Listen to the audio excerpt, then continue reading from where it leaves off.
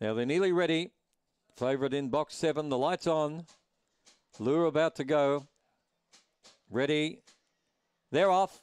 Freesa Bomb was only moderately away, but it's got good acceleration straight through the field to take over by two lengths to Sweet Lee, about five away. Oh, hello, the red's broken down here, Queens. Uh, going forward there, Lefevre Lil in the third place, and further back then, Hayride Dawson and Queens probably won't finish, but this is going like a star. Freesa Bomb out by five lengths. Charging home, Lefevre Lil gets second, third Sweet Lee, then Hayride Dawson.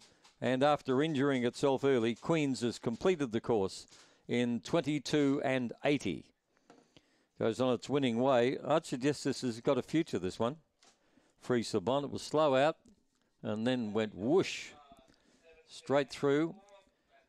The run home was 14.